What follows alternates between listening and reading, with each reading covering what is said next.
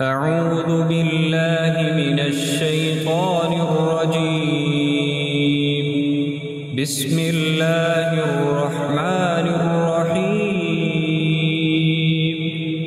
والتين والزيتون. وطور سينين وهذا البلد الأمين. لقد خلقنا الإنسان أحسن تقويم ثم رددناه أسفل سافلين.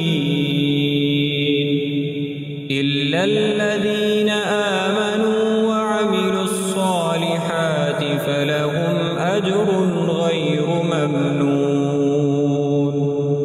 فما يكذبك بعد بالدين.